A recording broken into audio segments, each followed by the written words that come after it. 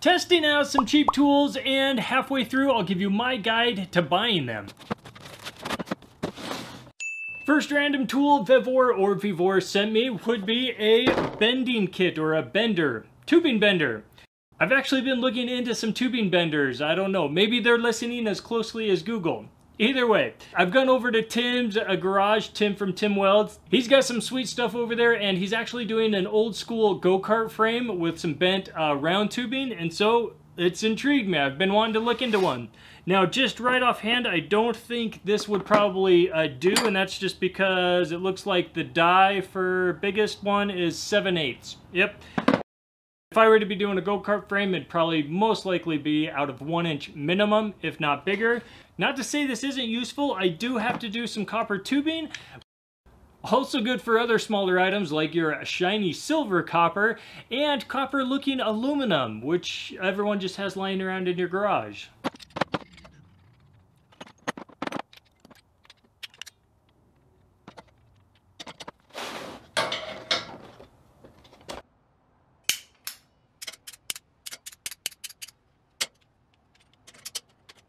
May not be able to do M-type copper tubing. Um, this is some half-inch M-type, and the first one just totally uh, broke right through.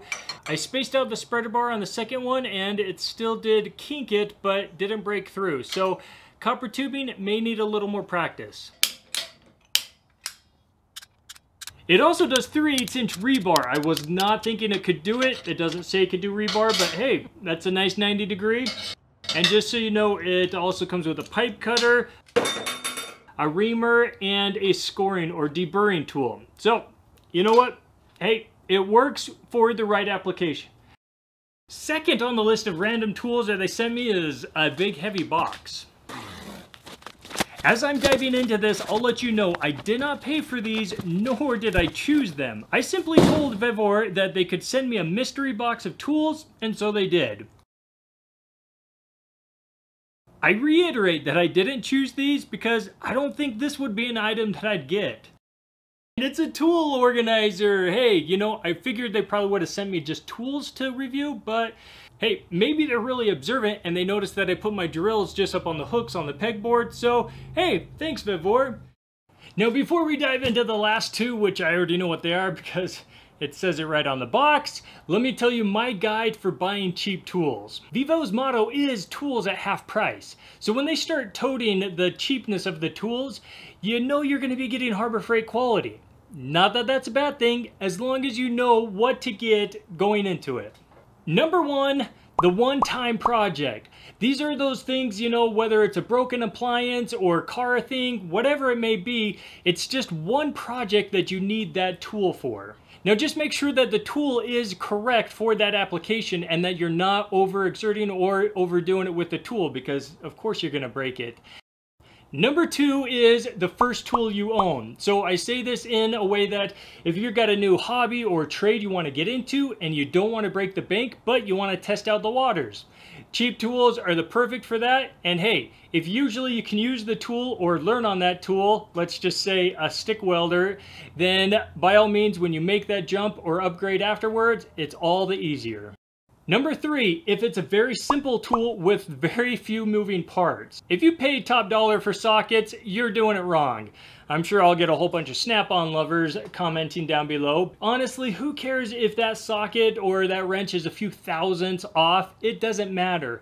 But if it's a very complex product or part and you start stacking all those tolerances together, well, then you're gonna have an issue. So I say keep it basic, you're gonna be fine. Sockets, hammers, screwdrivers, that sort of thing, you're golden.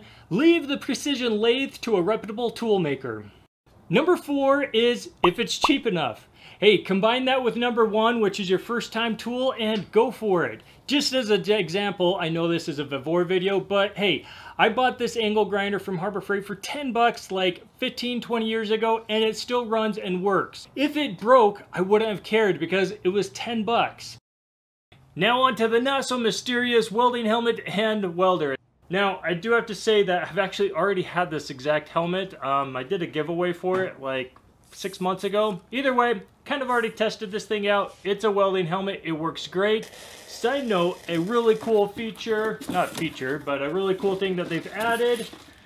They uh, put a full-on GoPro uh, setup kit with all of the different adapters and stuff. So, you know what? If you want to, you know, start filming your welding, auto darkening, you can fix your shade. So with that and the GoPro mount, it's a great deal. Now the little toaster, or sorry, welder that could, yes, this thing is teeny. It does claim it can do 140 amps. I only tested it at about 95, um, some 3 16ths diameter rods. That's all I had lying around. So it worked great for that. I definitely say it was putting out that amperage. I didn't actually put an amp meter on and test it, but it worked. I was able to throw down some beads, no issues.